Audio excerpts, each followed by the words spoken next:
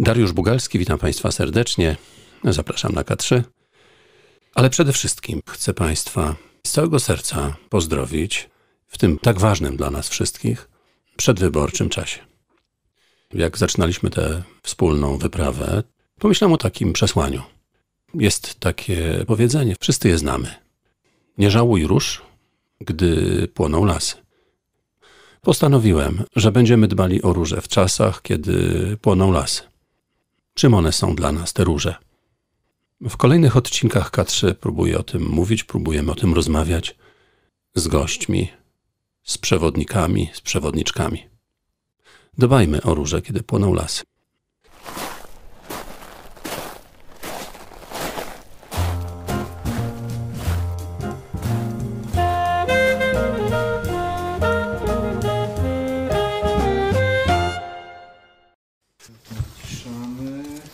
Najlepsza księgarnia. Nie umiem tego Nie zamknąć. umieliśmy zamknąć. Trzeba tą wajchą A, to góry. wajchą do góry. Boże. Człowiek prosty to nie wpada na taką Człowiek prosty to nie wpadł na takie rzeczy. księgarkę. Pewnie trzeba dać pionową tę wajchę. Słusznie. Dziękuję najlepszej księgarni za gościnę. Bardzo się cieszę, jak miło Panią widzieć. Rozpromienioną, Ja się cieszę, że uśmiechniętą. Ponownie mam Ile Pani wnosi rozmawiać z Panem. słońca. Pamiętamy się jeszcze z Myśliwieckiej, to były czasy. To, by- były takie czasy. No dobrze. Mogę jeszcze się przedstawić? A, no tak, proszę, tak, oczywiście, Bardzo tak, proszę, jasne. Aleksandra Piotrowska, psycholożka, związana całe życie z Uniwersytetem Warszawskim, z Wydziałem Mhm. Pedagogicznym Pokrzepienie rodziców. i nauczycieli. Autorka wielu książek znakomitych, no ale dziś książka nie Pani autorstwa. Do której z przyjemnością Świetnie. zasiadłam i z taką samą przyjemnością ją kończyłam. bestseller, yy, jak oni się nazywają, bo kiedyś inaczej. Wydawnictwo naukowe PWN. Niezwykły mózg nastolatka. Książka się nazywa, autorki są trzy. Bettina Honen, Jane Gilmore i Tara Murphy. Brytyjskimi pedagogzkami i psycholożkami są. Zacytuję jeszcze jedno nazwisko, a właściwie imię. Sokrates. Mają złe maniery, pogardę dla władzy, okazują brak szacunku starszym i uwielbiają gadać zamiast ćwiczyć. Dwa i pół tysiąca lat temu, Nic nowego. nie? Nic nowego, jakby napisane Nastola- wczoraj. nastolatki. y, W tym, co Juliusz Cezar nam zostawił, też są y, wypowiedzi mówiące, że okropni są ci nastolatkowie. Mądrość swoich ojców za nic mają, niech pan sobie wyobrazi. Tak, I matek też. I nawet pedagożek i psycholożek. To bardzo miło uświadomić sobie, że mijają setki lat, ach, tysiąclecia, a pewne problemy, jak przed nami, ludźmi stały, tak stoją. Coś stałego w tym zmiennym świecie. Dokładnie. Ale ja pomyślałem o tym właśnie zmiennym świecie i o skali zmienności, stresu, niepokoju, lęku, które są naszym udziałem. Pewnie znacznie bardziej udziałem naszych dzieci, wnuków. I to jest problem. Wie pan, kluczowym naszym dorosłych obowiązkiem w momencie pojawienia się dziecka na świecie i potem w następnych latach jego życia jest zapewnienie mu poczucia bezpieczeństwa. Poczucie bezpieczeństwa jest warunkiem, żeby ten rozwijający się człowiek miał chęć i miał odwagę eksplorować świat żeby miał ochotę dowiadywać się, jakie są właściwości przedmiotów, sytuacji, ale także sytuacji społecznych, ludzi, z którymi się styka. A eksplorowanie tego świata jest warunkiem niezbędnym do tego, żeby nabierał kompetencji do poruszania się w tym świecie. Ileś warunków powinniśmy spełnić, żeby dziecko to poczucie bezpieczeństwa miało. Na przykład powinno doświadczać z naszej strony akceptacji, nawet wtedy, kiedy postępuje w sposób niewłaściwy i wywołujący wiele zastrzeżeń. My możemy mieć wątpliwości, ba, możemy potępiać zachowanie, ale nie wolno nam potępiać dziecka. Jednym z takich osiowych warunków zaspokojenia tego poczucia bezpieczeństwa jest sprawienie, żeby ten świat był dla dziecka w głównych swoich ramach stały. Tylko wtedy dziecko postrzega sensowność gromadzenia doświadczeń i gromadzenia wiedzy o tym świecie. Szczegóły mogą się zmieniać, ale te ogólne ramy muszą być stałe. Wtedy dziecko wierzy, że jest sens gromadzić o świecie wiedzę. No ja rozumiem, to wszystko bardzo ładnie, myśmy- tylko że nie ma stałych ram. Do czego my mamy te dzieci wychowywać? Do tego świata, który my znamy, w którym my wzrastaliśmy? Na Boga, przecież to jest historia, przeszłość. Mhm. Te dzisiejsze młode pokolenia nie mają łatwo. No właśnie, też tak myślę. Mnie się zdarzyło ostatnio rozmawiać ze znajomą. Padło pytanie, jakbyś miał mieć tych tam teraz 15-17 lat, to byś chciał przez to przechodzić jeszcze raz? Zastanowiłem się i z ręką na sercu powiedziałem, że nie. I ona powiedziała tak samo. I myślę, że bardzo wiele z nas, bardzo wielu z nas tak samo myśli. Dołączam do, Tak? do, do waszego grona. Czuję się Y, pokrzepiony. Niewiarygodne, że wciąż wielu dorosłych, słysząc o kłopotach i problemach młodych ludzi, lekceważy ich y, odczucia, mówiąc: Poczekaj, jak dorośniesz, to zobaczysz wtedy, No y, tak. co to są problemy. No w życiu nie chciałabym ponownie Teraz jesteśmy na dnie kanionu, w ciemnościach. Może spróbujmy jakoś do góry. No, Spróbujmy.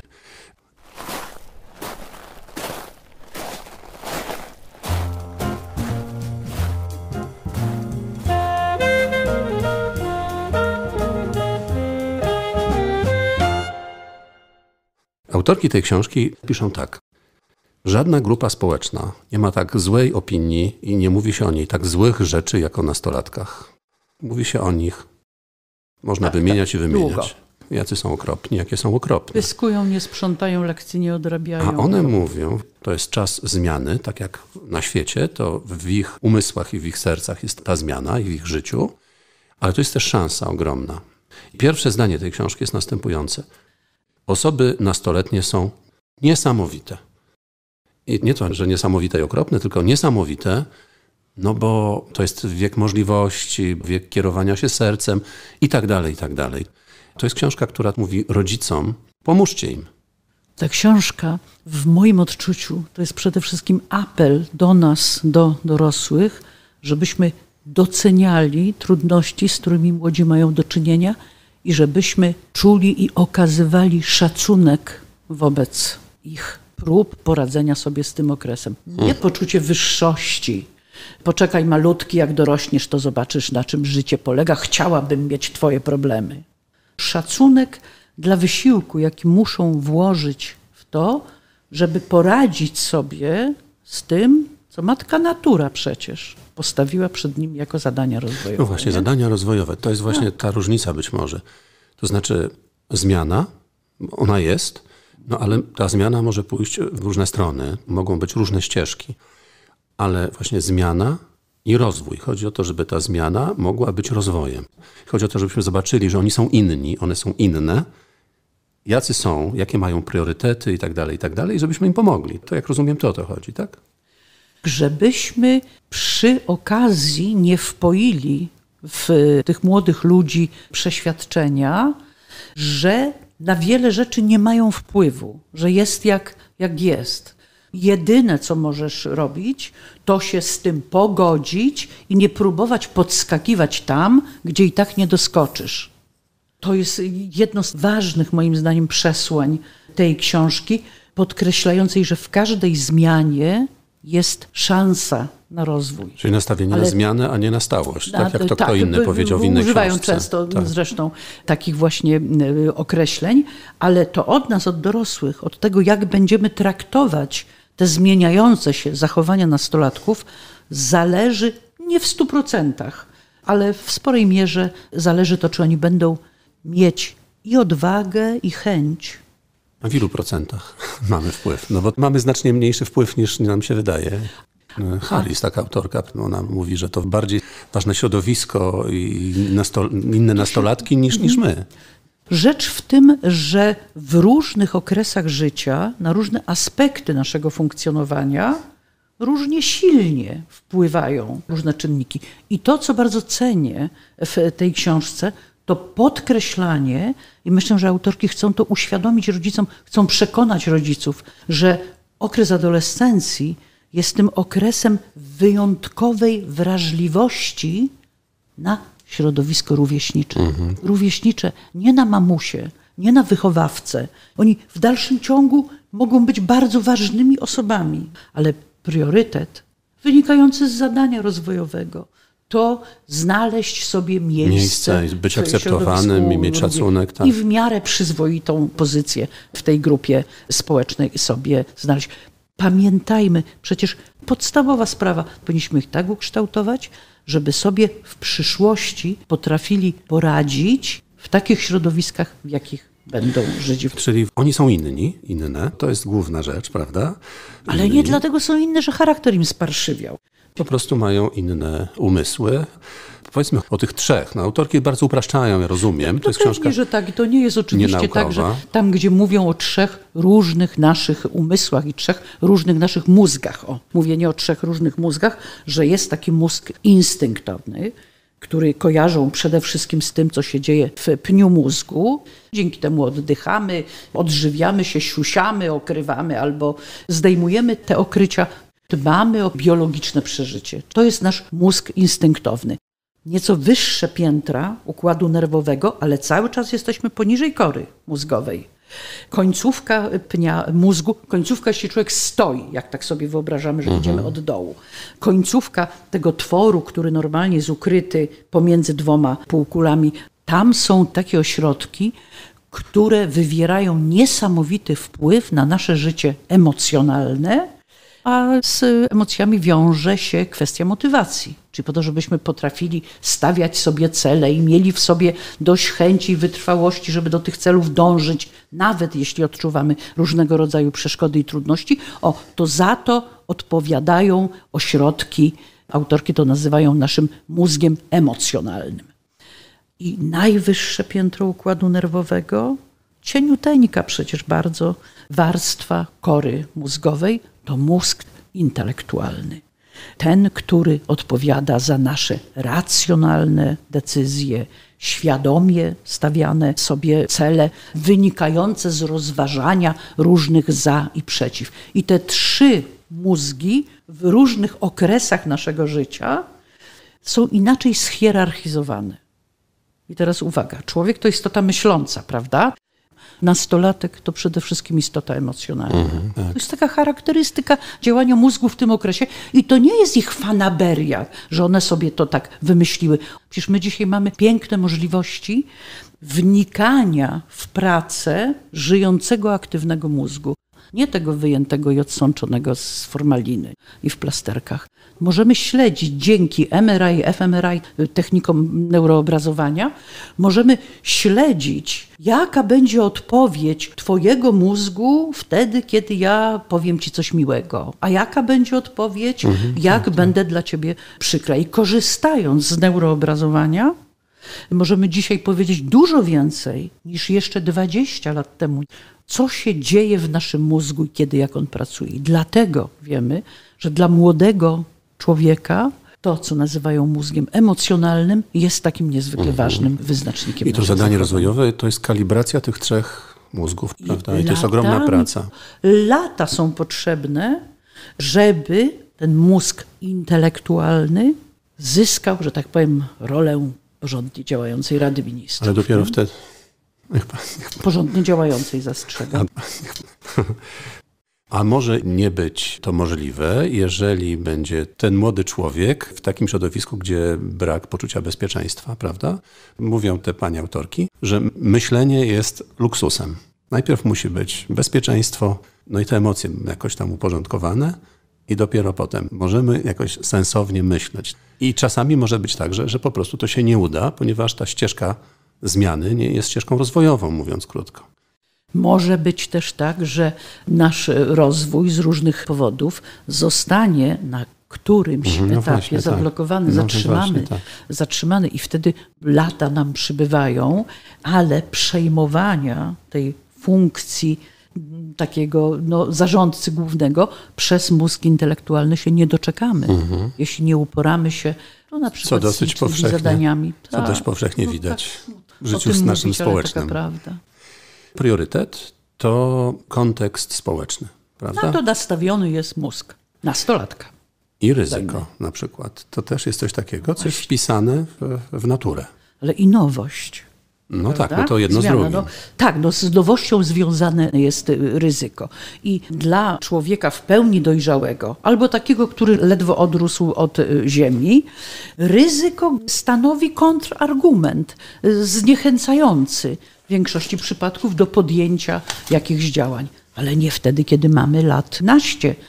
Jeśli oceniamy ryzyka, jakąś nie ma sytuację, zabawy. Dokładnie, oceniamy jakąś sytuację Ale nie ma też rozwoju. O, i Tak. to jest coś, z czego sobie warto zdawać sprawę i autorki to wyraźnie I podkreślają. tego nie rozumiemy. Nie chcemy akceptować. Tak, jesteśmy w dużej mierze nastawieni już na, na stałość, na pilnowanie tego, co już y, zdobyliśmy. No gdzie nam tutaj, po co nam jakieś ryzyko? Takie powiedzenie, myślę, trafiające w sedno chyba, że chodzi o to, żebyśmy my przygotowali dziecko do drogi, a nie drogę dla dziecka. Dziwimy się czasami, że te dzieci, te nastolatki są, przepraszam za to określenie, kalekami życiowymi. Y, Wie pan, y, z bólem przeczytałam informację o tym, na naszych uniwersytetach jeszcze się tego nie doczekaliśmy, ale na uniwersytetach zachodnich zdarza się już, że młodzież na co dzień troskliwie zaopiekowana przecież przez kochających i dbających rodziców, wnioskuje do władz uczelni o ograniczenie kontaktu z pewnymi wykładowcami, bo oni zlecają na przykład poznawanie lektur, które wywołują u nich dyskomfort.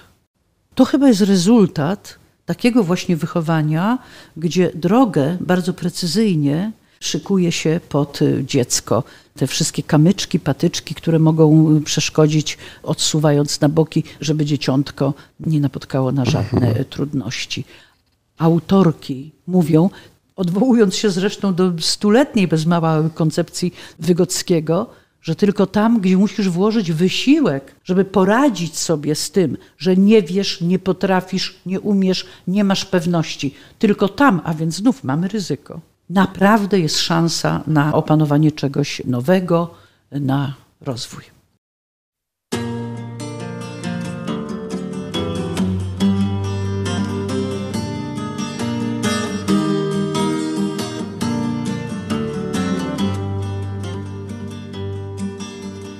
Nikt nam nie powie żegnaj, mówią nam do widzenia.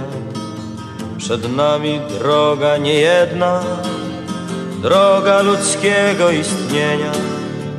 Jesteś siostrą i bratem, jesteś jednym z nas.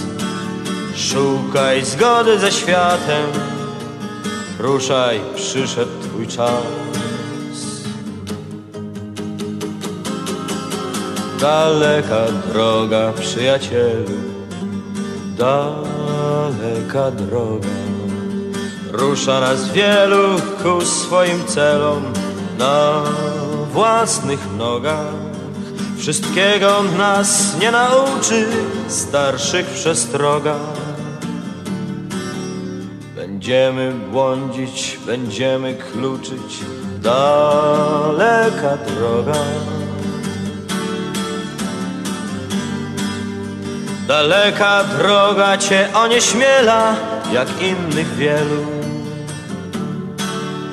Lecz stanąć w miejscu to zostać w tyle, tak, przyjacielu.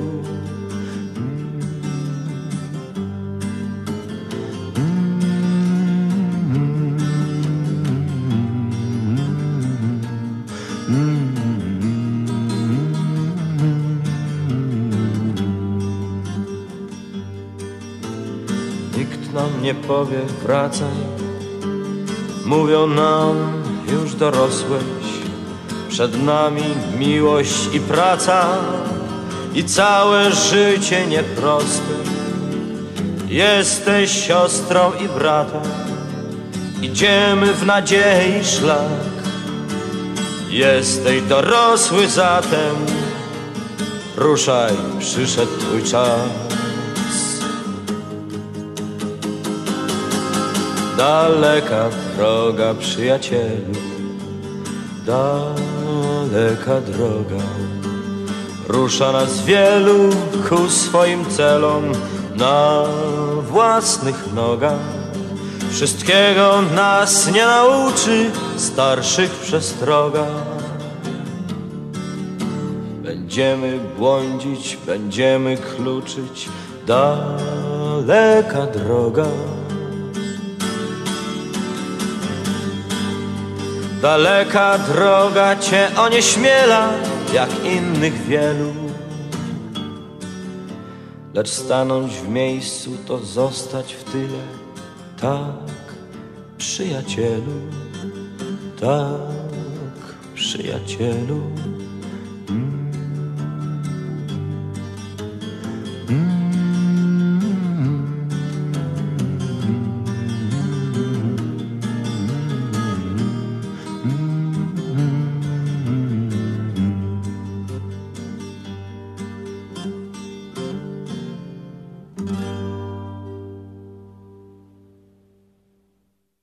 Chodzi o to, żebyśmy my przygotowali dziecko do drogi, a nie drogę dla dziecka. Tylko tam, a więc znów mamy ryzyko. Naprawdę jest szansa na opanowanie czegoś nowego, na rozwój. No i mamy takie poczucie, że rozpuściliśmy swoje dzieci. To z drugiej strony. No a z trzeciej strony tyle mamy dzieci niedostatecznie zaopiekowanych, tyle mamy dzieci z poczuciem osamotnienia. I to jest niesamowite i bardzo przykre, że rodzice zdaje się za dużo tej swojej pary rodzicielskiej poświęcają uczynieniu życia dzieci luksusowym z punktu widzenia przedmiotów świata materialnego, a nie doceniają i lekceważą chyba wagę no, takich zwykłych pogaduszek, bycia razem. Ale to się łączy z jednym z priorytetów rozwojowych tego wieku, to znaczy poszukiwaniem tożsamości. Oczywiście. Prawda? Bo to jest grupa społeczna, ale ja w tej grupie społecznej. I Ale przedziwny wiek, prawda? Bo oni z jednej strony chcą koniecznie być tacy jak ich rówieśnicy, no muszą się w końcu czymś różnić od dzieci i od dorosłych. Chcą nie odbiegać zanadto od swoich rówieśników, ale z drugiej Tak, strony tak, tak, tak, kształtowanie tożsamości, indywiduacja człowieka, odkrywanie w sobie tego, co mnie właśnie od innych różni. Bardzo ważny proces w okresie adolescencji. No i trzeba to wszystko jakoś pogodzić, to się musi jakoś poukładać, skalibrować, jak No, a tu mówiliśmy. mi jeszcze mówią, że to taki beztroski, cudowny okres życia. A no właśnie tak. I pytanie, dlaczego, no, właśnie pytanie, to chyba retoryczne, ewolucja tak dużo czasu poświęciła byciu nastolatkiem? No od, powiedzmy tam, nie wiem, 12 do 20 paru. Mielina się kształtuje i to dopiero wtedy mniej więcej jest szansa na dojrzałość. Mogłabym zadowcipkować, że, że my, kobiety, wcześniej, wy wiadomo, No to jak takie. to u was y, jest, ale y, to prawda, To znacznie dowcip. y, szybciej dojrzewa nam układ kostny, pokarmowy, mięśniowy niż układ nerwowy. A szczególnie te części, które wiążą się najbliżej z tym mózgiem intelektualnym, rozumowym. A więc oczekiwanie, że trzynastolatek będzie racjonalny przy podejmowaniu swoich decyzji, a osiemnastolatek, no przecież musi jak dojrzała osoba postępować, jest absolutnie w świetle neuronauki nieuzasadnione. Tam jest jeszcze taki ciekawy wątek, on mnie zaf- zafrapował, bo nawet trochę tak jak my mówimy, może, to jest jednak w tym jakieś poczucie wyższości, że myśmy to przeszli, nam się zmielinowało i tak dalej. Autorki mówią, popatrzcie na ryzyko, są mądrzejsze od nas, bo nastolatki, to jest nieoczekiwane dla mnie spostrzeżenie, potrafią szacować ryzyko, bo czasami ryzyko jest zwycięskie. Trzeba zaryzykować, żeby wygrać. Poza tym one potrafią moderować to ryzyko. Na przykład znajdę ten obrazek. Bardzo Mogę proszę. Państwu pokazać ten obrazek? Obrazek, gdzie widzimy nastolatka, który prowadzi samochód. Nastolatka, który prowadzi samochód i są tam jeszcze inni jego koledzy i koleżanki. I nastolatek, który prowadzi samochód i myśli o rodzica, o mamie. Przeliczono liczbę błędów popełnianych przez nastolatka. Ten, który jedzie z kolegami, z koleżankami w tym samym wieku, w niektórych krajach podobno to jest zabronione. Ograniczenia są, że na przykład jednego może Tak? rówieśnika Właśnie nie wiedziałem o tym. Tak, różnie to jest. Niesamowite, 15 błędów tam w jakiejś jednostce. Nastoletni kierowca jedzie sam. Proszę Państwa, niesamowite. Dwa błędy. Niesamowite. Jak myśli o mamie, to, to wydaje się groteskowe, ale to wtedy cztery błędy. czy Cztery. To znaczy, że one to potrafią robić. Nie są głupolami jakimiś. Podejmując ryzyko, rozważamy, dzięki jakim zachowaniom, jakim decyzjom będzie nam bliżej do różnego rodzaju wartości. No właśnie, o tych w wartościach. wiesz. zależności od, od tego, kto w tej chwili tworzy moje środowisko, bardzo różne wartości są tymi, do których ja teraz dążę. Właśnie o tych wartościach. Często rodzice mówią, zobacz, świat jest brutalny, będziesz artystą, no to co z tego będziesz miał? Chociaż wyrywa się od tego dusza tego młodego człowieka, pójdziesz na prawo. A nastolatki właśnie szukają wartości jakichś swoich no, no, w sercu. Spychanie na taką ścieżkę, no, której przyświeca system wartości rodziców. A, to- to, co oni cenią. Tak, a musimy się pogodzić y, z tym, że nasze dzieci mogą ten system wartości mieć ukształtowany inaczej. Hierarchia wartości nie musi być kopią tej, która jest u nas. Możliwość życia zgodnego z, Maslow by powiedział, samorealizacja. Dla nastolatków niebywale ważna z perspektywy trafiających do gabinetów terapeutycznych. No może być niegłupim pomysłem. może się w sumie okazać, że to, do czego te nastolatki chcą dążyć, a my im to czasem, na szczęście nie zawsze, czasem próbujemy wyperswadować, jest skuteczniejszym sposobem przechodzenia przez życie.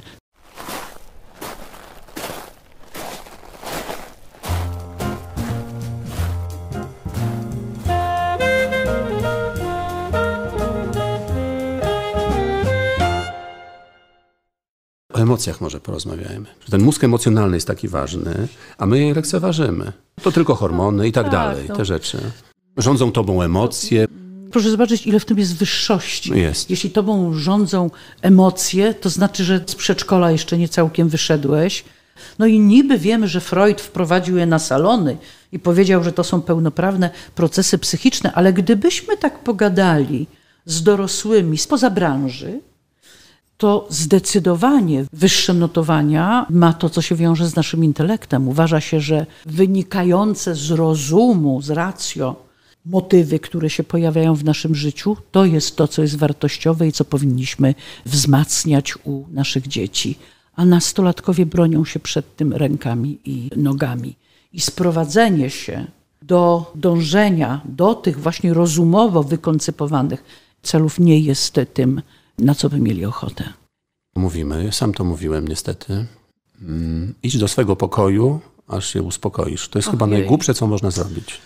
No ale to dzisiaj jesteśmy tacy mądrzy, jak dzięki technikom Mhm, tak. neuroobrazowania wiemy, co się dzieje z mózgiem. I na przykład jak autorki piszą o tym bardzo wyraźnie, że wystarczy obecność osoby, która jest wobec nas życzliwa. Ona nie musi nic robić.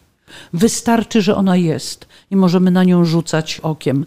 Sprawia, że nasze pobudzenie emocjonalne jest tym, z którym sobie łatwiej Nawet wysta- możemy wystarczy myśleć, jak ten młody kierowca i jego mama w myślach. Mniej więcej po 12 roku życia osiągamy już taki poziom rozwoju, że pomyślenie o czymś z wielu punktów widzenia No jest właśnie, ale z tym pójściem do, do, pokoju. Idź do swego pokoju, aż się uspokoisz. Ale jak często to jest stosowane? No właśnie tak. Odsyłanie do kąta, nasze obrażanie się. Myślę nawet o relacjach między dorosłymi ludźmi, prawda? tak, to Przecież prawda. nasze obrażanie się, karanie partnera milczeniem i tym, że ostentacyjnie wychodzimy do drugiego pokoju. Przecież to jest bez sensu. Utrudniamy w ten sposób powrót do No sytuacji tak, bo to po pierwsze jest tak, że unieważniamy te emocje. Wróć jak znormalniejesz. O, to tak, znaczy rozum przejmie kontrolę nad emocjami. Tak, a poza tym sam to zrób. Się nie da samemu.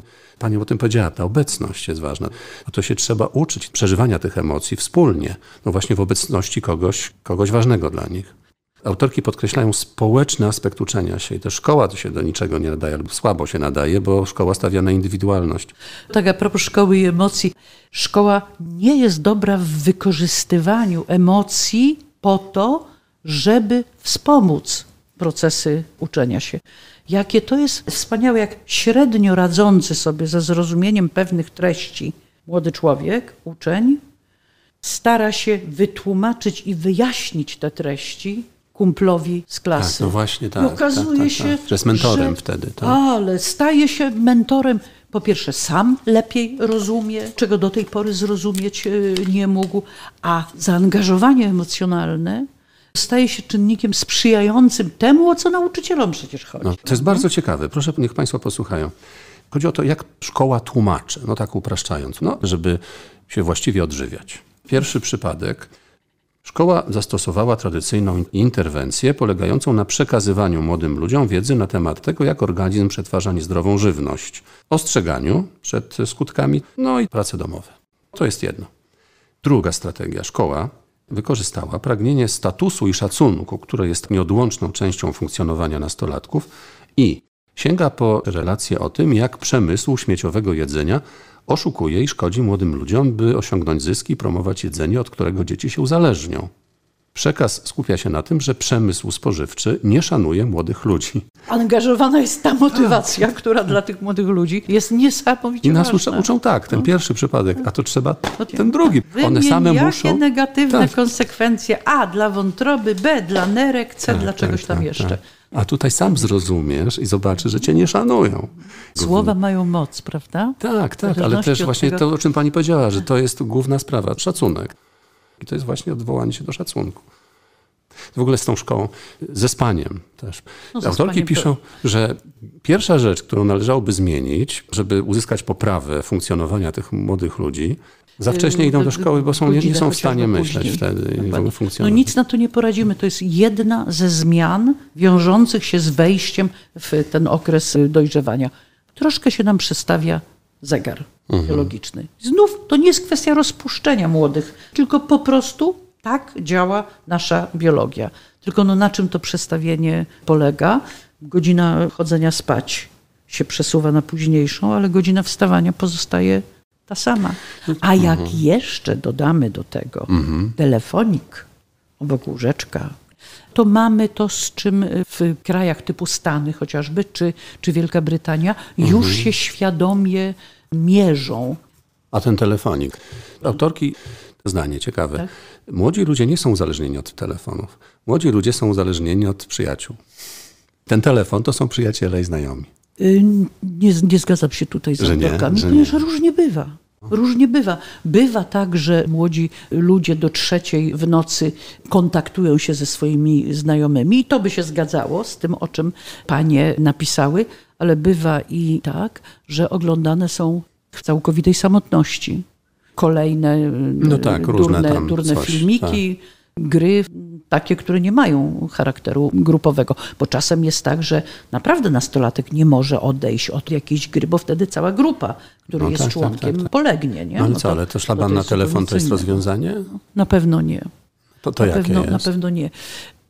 Próba zawiadowania młodymi ludźmi i kształtowania ich zachowań przez szlabany albo grożenie szlabanami jest metodą całkowicie nieskuteczną i chyba najwyższy czas, żeby sobie zdać z tego sprawę, jak to się ma do tych dominujących w tym okresie potrzeb. Potrzeby szacunku, autonomii, potrzeby niezależności. Przecież dokładnie wbrew tym wszystkim potrzebom staje.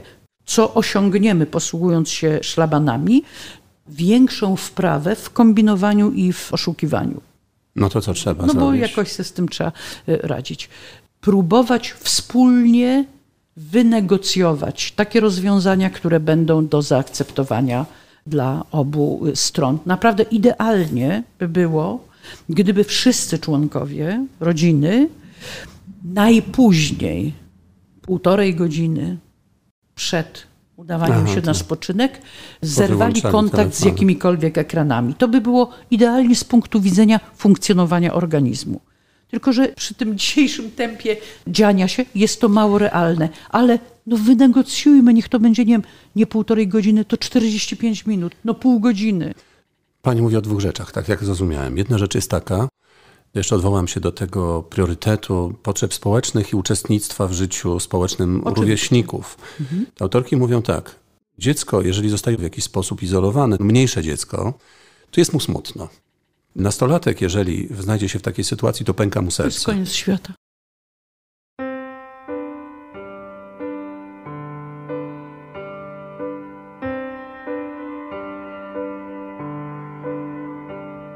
The milk truck hauls the sun up, and the paper hits the door. And the subway shakes my floor, and I think about you. Time to face the dawning gray of another lonely day. It's so hard living without you. It's so hard it's so hard. It's so hard living without you.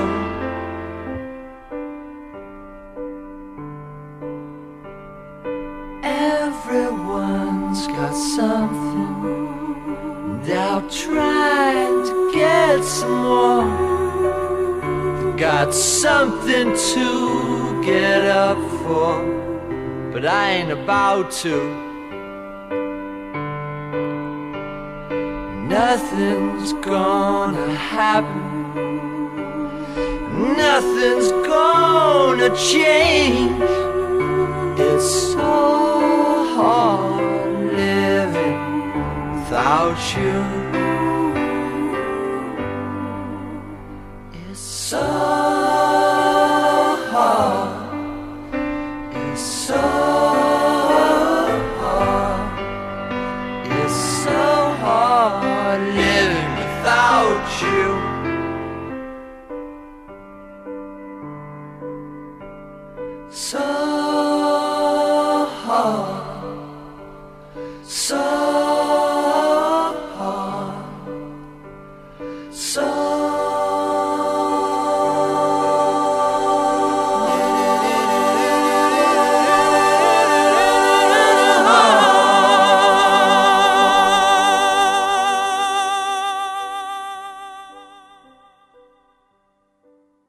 Doktor Aleksandra Piotrowska.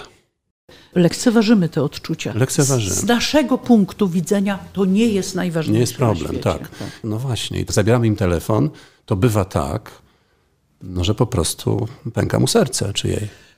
I to się zastanawiam, czy to jest tylko takie literackie określenie. Zwrócił Pan uwagę na to, o czym autorki piszą, że metody neuroobrazowania powiedziały nam dzisiaj, że odpowiedź mózgu na cierpienie wywołane przyczynami społecznymi, na przykład, że dziecko nie zostało włączone w jakieś aktywności realizowane przez rówieśników, te ośrodki w mózgu pobudzane są dokładnie te same, co wtedy, kiedy na przykład dziecko, nie wiem, łamie sobie nogę.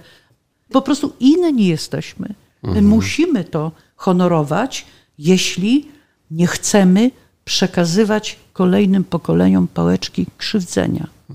Bo my często kochając dzieci i chcąc się nimi dobrze zaopiekować, wyrządzamy im krzywdę, Bo nie wiemy jak trzeba.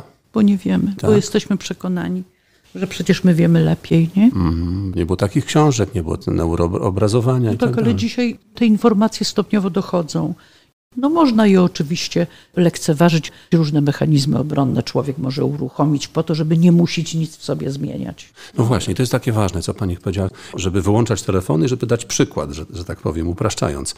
Ha, To jest modelowanie, to ale się tak nazywa. temat pan teraz Co? wprowadził. Dlaczego? No ilekroć się spotykam z rodzicami i próbuję ich przekonywać, uświadamiać im, że wychowujemy nie gadaniem, nie mówieniem dziecku, co powinno robić, jak się powinno zachowywać, tylko pokazywaniem. I że modelowanie to jest e, strategia uczenia się niezwykle Modelowanie skuteczna. jest najważniejszym, Najważniejszym. rodzajem uczenia się. Dla mnie nie ulega wątpliwości, Tak? choć nie pierwszym, bo już w okresie prenatalnym zaczyna się tworzenie odruchów warunkowych. Ale modelowanie z punktu widzenia tego, jakim pan jest przykład, człowiekiem. tak? Tak. Poza naprawdę najwcześniejszym okresem pierwszych kilku, kilkunastu miesięcy naszego życia, kiedy to faktycznie rozwój w dużej mierze polega na tym, że powstają te dwa rodzaje odruchów. Albo uczymy się nadawać emocjonalne znaczenie czemuś, co do tej pory było dla nas całkowicie obojętne. Uczymy się, nie wiem, wielbić twarz mamy. Widok zbliżającego się cycuszka, bo wiemy, że za chwilę będzie mniam, mniam. To jeden rodzaj uczenia się. A drugi to uczymy się, jakie zachowania są skuteczne dzięki jakim zachowaniom możemy osiągnąć korzystne dla nas rezultaty. To prawda, ale jesteśmy zwierzęciem społecznym. Większość sytuacji, w których uczestniczymy, to są przecież sytuacje, w których bezpośrednio albo nawet pośrednio, chociażby w postaci obecności książek czy filmów, No tak, obecni tak, są tak, inni tak. ludzie. Spotykam się z jakimiś wzorami zachowań w wykonaniu postaci Mhm. literackich, ale wpływ tego drugiego człowieka, szczególnie tego, z którym jestem emocjonalnie związana, jest naprawdę niewiarygodnie No duży. Mhm, Świadomie tak. prowadzić rozmowy z dzieckiem, przekonywać dziecko do czegoś, ile minut dziennie pan może, a przez ile Mhm. minut pan robi jako model. Nawet wtedy, kiedy pan robi zakupy w warzywniaku, a dziecko jest obok. Myślę, że wielu z nas, wiele z nas, rodziców, opiekunów, ma takie poczucie, że tracimy nasze dziecko, że nie jesteśmy dla nich ważni. Coś takiego się przełącza nagle, że nasz cudowny synek staje się obcy, siedzi w telefonie. No tak. Że to już nie jest nasze dziecko. No i ci nastolatkowie, że to jest priorytet. My w ogóle się nie liczymy. I pani mówi, że to jest takie ważne, to modelowanie, obecność i tak dalej. No, no, no jakże? Y, I to jest bardzo, bardzo głęboka nieprawda, że nastolatek wybierze pójście gdzieś z rówieśnikami, czy siedzenie przed komputerem i, i wspólne granie nad wizytę u zaprzyjaźnionej sąsiadki czy cioci, co do tej pory bardzo lubił robić, naprawdę nie znaczy, że my przestaliśmy być dla niego ważni. Zdobywa nowe tereny. I na tym musi koncentrować swoją uwagę. Grupa rówieśnicza i pozycja, jaką może sobie w tej grupie urządzić, plus szukanie odpowiedzi na pytanie, kim do diabła ja jestem. Jakim jestem człowiekiem. To jest jądro tego, czym żyje nastolatek. No to co my mamy zrobić? Mamy wspierający, nieniszczący sposób być. Jeśli widzimy, że cierpi i nie chce nam powiedzieć, dlaczego cierpi, to nie mamy się obrażać i wychodzić Często do drugiego robimy, pokoju. Tak, no bo czujemy się y, Zranieni. ale rozżaleni się czujemy, sami czujemy się zranieni. Tylko tu jest nierównowaga sił. Moje dziecko, mój wychowanek jest osobą, przy której to ja mam być dojrzała i dorosła. No. Ale- Smutna wiadomość. Ale, ale tak ma być. No, To mam, mamy być dojrzali, jeśli mamy pomóc w dojrzewaniu i dorastaniu naszym y, dzieciom. Nie Mhm. zawsze jesteśmy w stanie w sposób dojrzały się zachować, przynajmniej ja nie potrafię w stu procentach. To pani to chyba, chyba- nikt nie potrafi, to- naprawdę. Ale od czego ludzkość wymyśliła takie słowa jak wybacz albo przepraszam? Normalne pobożenie się i powiedzenie, że jak głupio zareagowałam, wiesz, ale to dlatego, że wpadłam w panikę, przeraziłam się i tak dalej. Nie powinnam Nie tracimy była. wtedy autorytetu? Nie, gdzież? Do tego, żeby być autorytetem dla osoby, której mózg myślący już naprawdę nieźle działa, nawet jeśli bywa często dominowany przez emocjonalny, my musimy być postrzegani jako osoba wiarygodna. Jeśli ja ewidentnie nie mam racji w kontakcie z dzieckiem, a w zaparte będę się upierać, że racja jest po mojej stronie, niczego w ten sposób nie zyskam. Przyznanie się do błędu i przeproszenie za niewłaściwe postępowanie może się okazać tą zmianą na plus w naszych relacjach. A granice? Mówi się ciągle o granicach. Oczywiście, że te granice muszą być przez nas y, ustalane, tylko żeby to wszystko miało ręce i nogi. I powinnam zrobić wszystko, żeby przekonać tego mojego współpartnera młodego, A współpartnera. e, tak, że ta granica powinna być postawiona. No, nawet te 30 minut przed snem bez telefonów. Ale ja też powinienem wyłączyć. Nie próbujmy. Zdecydowanie. Słuchajcie, jak ja bardzo popieram, żeby w domach były szuflady czy koszyczki, gdzie w magiczny sposób o określonej godzinie wieczorem lądują telefony wszystkich członków rodziny. Wszystkich. To nie tylko nasze dziecko nie może siąść do wspólnego posiłku z telefonem. My też nie. Żadne tam dyrdymały, że tatuś czeka na bardzo ważny telefon z pracy. Mieliśmy taki odcinek o mądrości. Tam była mowa o tym, że jednym z głównych aspektów mądrości jest zmiana perspektywy, umiejętność zmiany perspektywy. To właśnie o tym mówiliśmy. My jesteśmy inni, to są różne perspektywy, one mają wspólne miejsca, ale jednak są różne. I naszą mądrością powinno być to, żebyśmy potrafili zmienić perspektywę, popatrzeć, co jest ważne dla nich, a nie tylko dla nas. jednym Ale z, dla nas też. Tak, jednym z osiągnięć okresu dojrzewania powinna być mocno ugruntowana decentracja, czyli właśnie taka umiejętność i gotowość pomyślenia o jakiejś sytuacji, do spostrzegania tej sytuacji, analizowania tej sytuacji nie tylko ze swojego punktu widzenia. Tak. Bez tego zawsze będziemy wychodzić z założenia, że tylko mój punkt widzenia jest słuszny, tylko moje cele są istotne i zasługują na. I też właśnie nie wiemy, czy to są moje cele, bo to może są cele naszej grupy społecznej. Dokładnie, a, dokładnie. a to A właśnie. dlaczego człowiek takie, a nie inne cele sobie stawia, no to A, jest, to jest jeszcze inna inne sprawa. zagadnienie, ale też bardzo, bardzo Właśnie to ja jeszcze chciałem powiedzieć o dwóch rzeczach. Pierwsza rzecz to mam takie poczucie, że tym moim, czy właśnie naszym podcaście jest bardzo dużo mowy o rodzicach, o dzieciach, o tych relacjach, o wychowywaniu. Może to jest niewłaściwe słowo w dzisiejszych czasach, nie wiem. Właściwe, właściwe? właściwe, jak Właściwe. najbardziej. Ale pomyślałem o czymś takim, że świat, który przeżywa no, kataklizmy, to tak jakby płonęły lasy. Nie żałuj róż, gdy płoną lasy. Lasy płoną, rzeczywiście prawda, ale róże to są właśnie te, te dzieci i te nasze relacje z nimi. To Korczak miał taką, może niesłynną, ale piękną... Tak, to nie, ona nie należy do często przywoływanych myśli Korczaka. Tak, to jest prawda? taka myśl, że był już w getcie i wysłał bez swojej przyjaciółce, wydawczyni, pani Mortkowiczowej, dołączył karteczkę. Gdy płoną lasy, nie zapominaj, nie należy zapominać o różach. A te róże to są właśnie nasze dzieci, nasze relacje z nimi.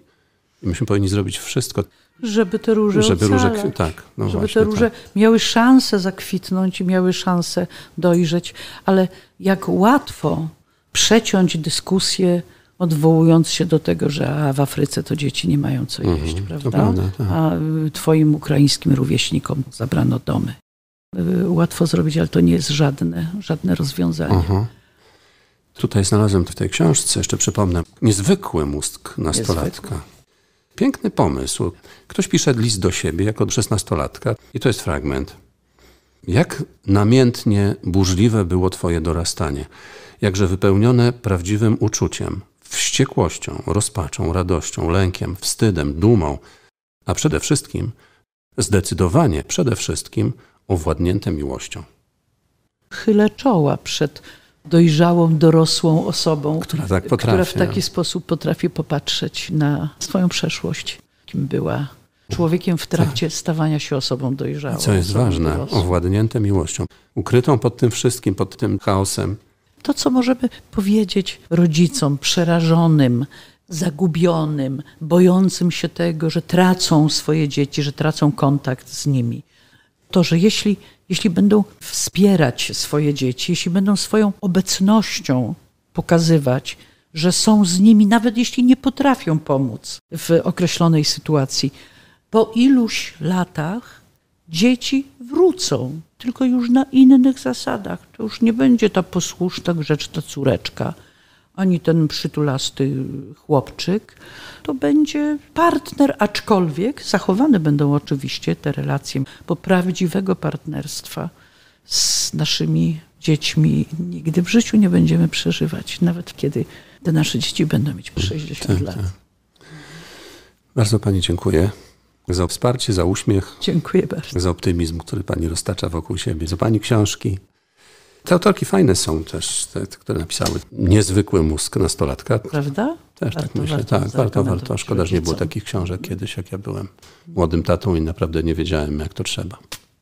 Neuroobrazowania nie było. Mm. Dziękuję. Dziękuję bardzo. Doktor Aleksandra Piotrowska.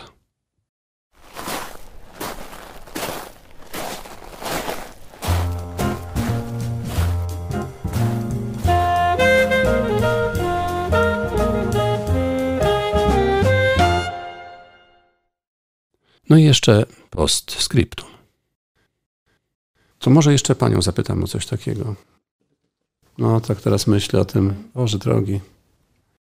Mówię z perspektywy ojca, który popełniał bardzo wiele błędów i tego się wstydzę. Wiem, że to się już tego nie A cofnie. słucha pana matka, która również ma wiele błędów na swoim koncie. Naprawdę. No, no, no dobrze, to znaleźć się w pani towarzystwie to jest wielka przyjemność. No i trochę spada ciężar, ale naprawdę czuję taki ciężar. I myślę, że bardzo wielu rodziców słuchających naszej rozmowy tak czuje. Proszę im coś powiedzieć, nam coś powiedzieć.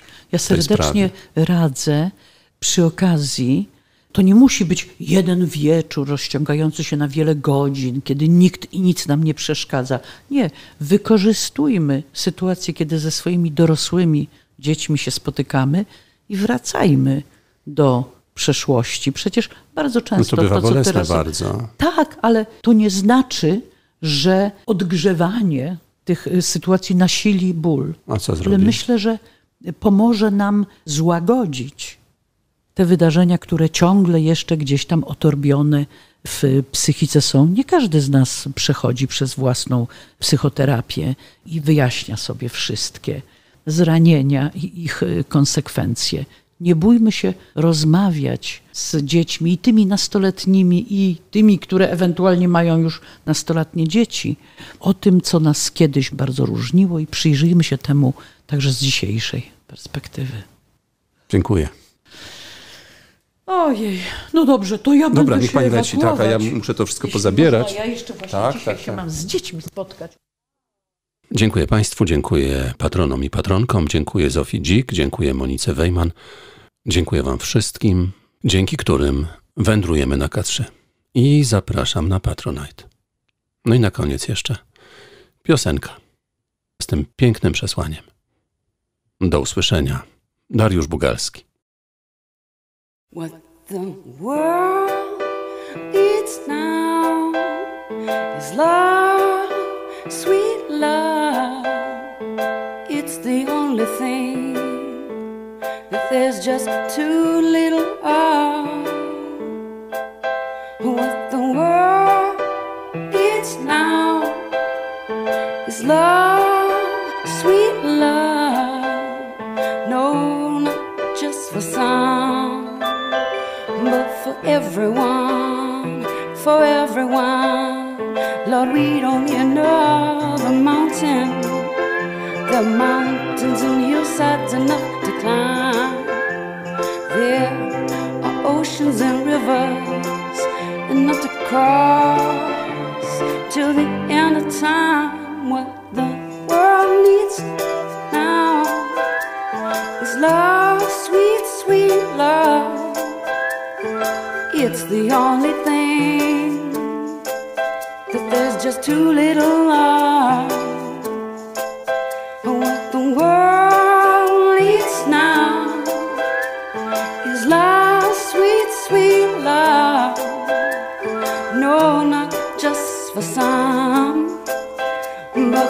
Everyone, for everyone. Lord, we don't need another.